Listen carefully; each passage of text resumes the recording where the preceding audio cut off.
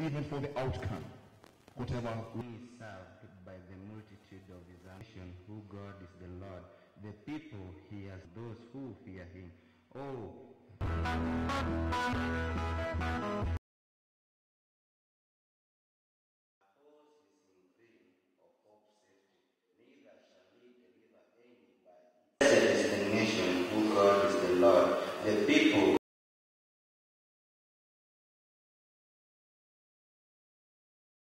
I am happy that everybody has been calling for peace, peace, peace.